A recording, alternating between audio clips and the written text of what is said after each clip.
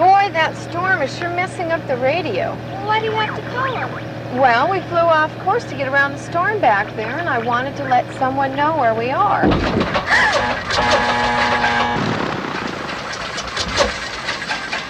what happened?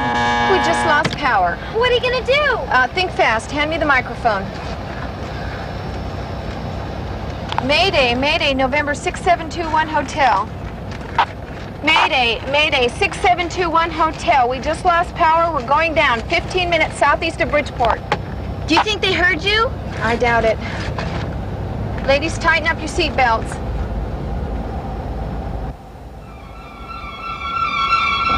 Just so that you know what to expect, just as we set this down, you'll hear a stall warning alarm. That's nothing, don't worry about it.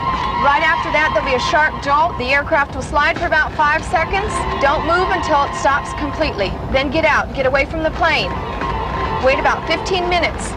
If you see or smell gas, don't come near it at all.